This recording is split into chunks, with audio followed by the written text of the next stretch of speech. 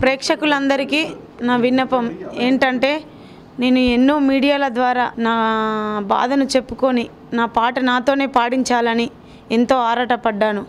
కానీ ఈ విషయం నన్ను మొదటగా రేలారేలకు తీసుకొచ్చి ఆ పాటను ఒక ప్రపంచానికి పరిచయం చేసిన మా సురేష్ సార్ డైరెక్టర్ దీని గురించి గట్టిగా చర్చ తీసుకొని అమ్మ నువ్వు ఎంతో కష్టపడి తీసుకొచ్చినావు కోమలి ఈ పాట నువ్వే పాడినావు కాబట్టి నేను శేఖర్ సార్తో నీతో మాట్లాడిపిస్తాను బాధపడకు నెక్స్ట్ సినిమాలో అవకాశం ఇస్తాడు తాను అని చెప్పి నన్ను ముందుకు తీసుకొచ్చిండు.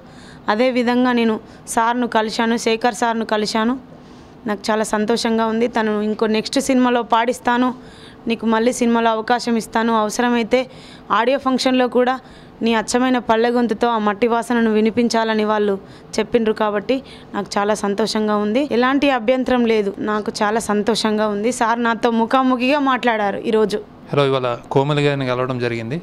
ఏదైతే ఇన్ని రోజులు మేము కమ్యూనికేషన్ గ్యాప్ వల్ల తను నన్ను కలవలేకపోయింది. ఈరోజు కలిసాము.